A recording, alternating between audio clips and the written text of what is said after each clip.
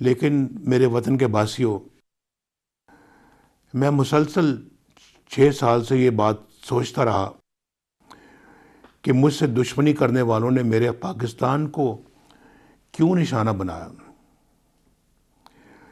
मेरे आवाम का क्या कसूर था उनको क्यों निशाना बनाया?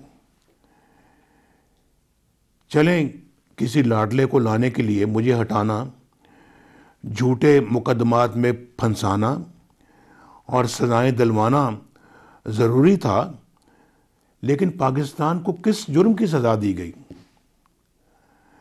पाकिस्तान के अवाम को किस गुनाह की सज़ा दी गई? उनका क्या कसूर था?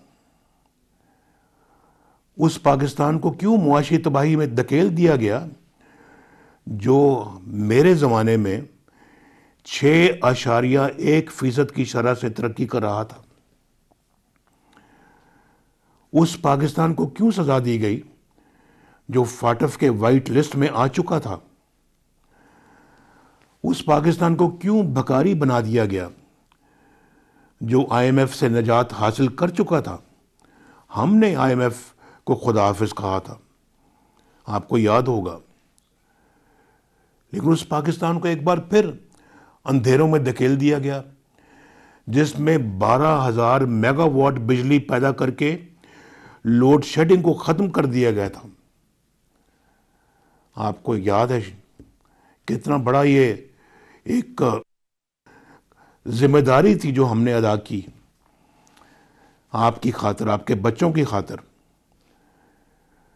तो आज उस पाकिस्तान में सरमायाकारी क्यों रुक गई?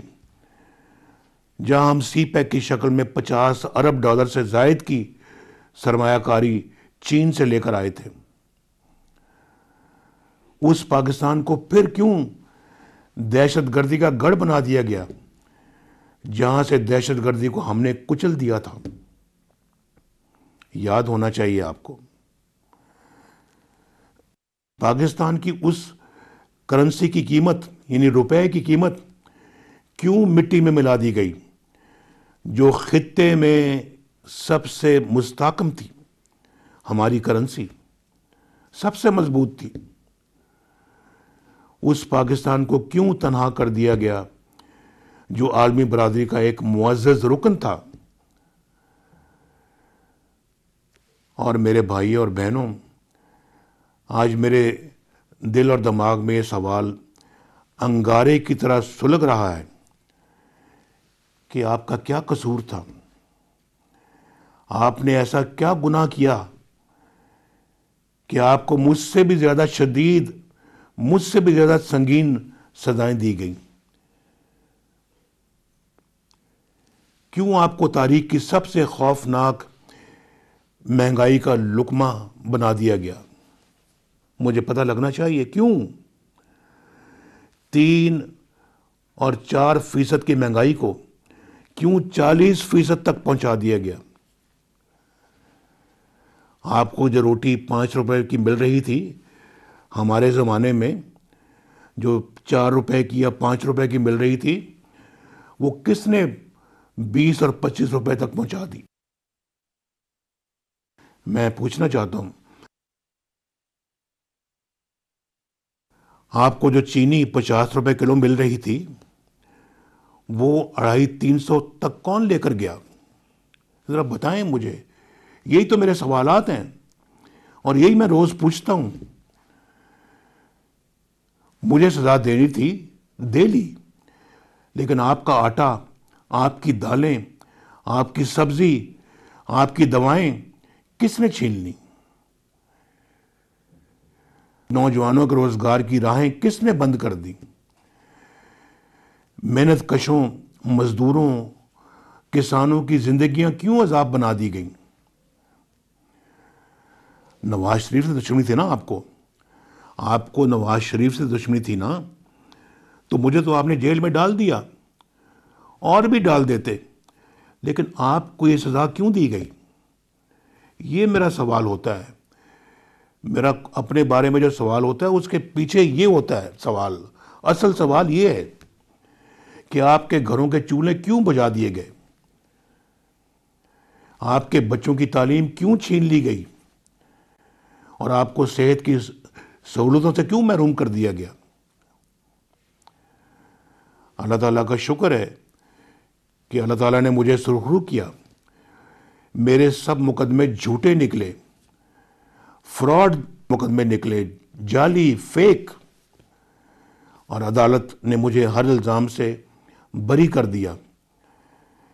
लेकिन मुझे सच्ची खुशी उस वक्त होगी, मेरे भाई और बहनों, जब आप भी बरी होंगे। मेरी माओ, बहनों, बेटियों, बुज़ुर्गों और जवानों की सज़ाएँ ख़त्म होंगी। हमारे बच्चों की सज़ाएँ ख़त्म होगी। जब आपको महँगाई के अजाब से निजात मिलेगी, जब आपको बिजली और गैस के भारी बिलों से निजात मिलेगी, जब नौजवानों को रोज़गार मिलेगा, जब बीमारों को दवाएँ मिलेंगी, दवाएँ जो वो आज अफोर्ड नहीं कर सकते जेब में पैसे नहीं होते दुआ की कीमत अदा करने के लिए। मांगते हैं, कर्ज मांगते हैं, सिर्फ़ इसलिए कि मेरा बेटा सेहत याब हो जाए। सिर्फ़ इसलिए कि मेरा शौहर सेहत याब हो जाए। इसलिए कि मेरे माँ बाप की ज़िंदगी बच जाए। ये हाल हो चुका है और हमारे ज़माने में दुआएँ मुफ़्त मिलती थी, मुफ़्त। इलाज मुफ़्त होते थे। जब ख़वातीन के हकूक़ का तहफ़ होगा, जब आगे बढ़ता, तरक्की करता और आवाम की खिदमत करता हुआ पाकिस्तान आपको वापस मिलेगा, तब मुझे असली खुशी होगी। आप जानते हैं कि नवाज़ शरीफ ख्वाब नहीं दिखाता सबज बाग नहीं दिखाता, जो कहता है, अल्लाह पर पुख्ता ईमान की बिना पर कहता है, अल्हम्दुलिल्लाह। और अल्लाह भी उसकी मदद करता है। और मैं अल्हम्दुलिल्लाह जो कहता हूँ, अल्लाह के फजल करम से और आपकी दुआओं से करके दिखाता हूँ। 1990 में अल्लाह ने मेरी मदद की 2013 में अल्लाह ने मेरा हाथ थामा। मुझे कभी अच्छे हालात नहीं मिले, लेकिन जब भी मुझे इकतदार से फारिग किया गया, मैं अल्हम्दुलिल्लाह पाकिस्तान को कई गुना बेहतर हालत में छोड़ कर गया। और आप गवाह इस बात के। तो मेरे अहले वतन, मुझे अपनी सजाओं से निजात के लिए, अदालतों से रजू करना पड़ा। जज साहबान से अपनी बरीत के फ़ैसले लेने पड़े। आपको किसी अदालत में नहीं जाना। आप खुद अदालत हैं। आपने किसी जज को दरख्वास्त नहीं देनी। आप खुद जज हैं। इन मुझे मालूम है कि आप आठ फरवरी को अपनी जजमेंट ज़रूर सुनाएँगे। एक खुशहाल पाकिस्तान की, एक तरक्की याफ्ता पाकिस्तान की। और आप अपनी जजमेंट सुनाएँगे, अपनी बरीत का फ़ैसला आप खुद करेंगे। खुद ही आपने अपनी सज़ाओं का ख़ात्मा करना है। और मुझे यकीन है कि आप अपना मुकदर बदलने की भरपूर सलाहियत रखते हैं। अल्लाह ताला हम सब का हामी नासर हो, फिर मिलेंगे इन खुदा हाफिज़।